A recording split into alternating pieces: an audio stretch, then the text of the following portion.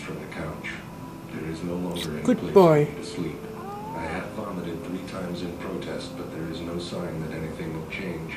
My only other hope for rest is on the computer keyboard, which is nearby, but sadly no one is currently using it. I will wait. Dear Diary, my food dish is now only half full. It is obvious that I will soon starve to death. I have repeatedly tried to draw attention to my predicament with the authorities, but they are clearly stupid, deaf, or just cruel. This may be my last entry.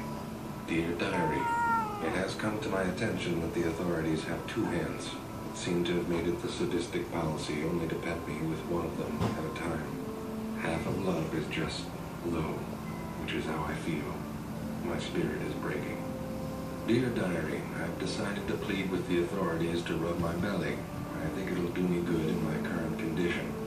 Like to receive two rubs exactly. A third one and I will bite the shit out of them as per protocol. Wish me luck. Dear Diary, the water dish continues to vex me. The authorities seem to taunt me with this cruel liquid that has me to snow or disposed for the rest of the night and sing the song of my people in hopes that they rescue me. Dear Diary, when the authorities poop, I have tried to poop in the bathtub litter box with them in a show of solidarity.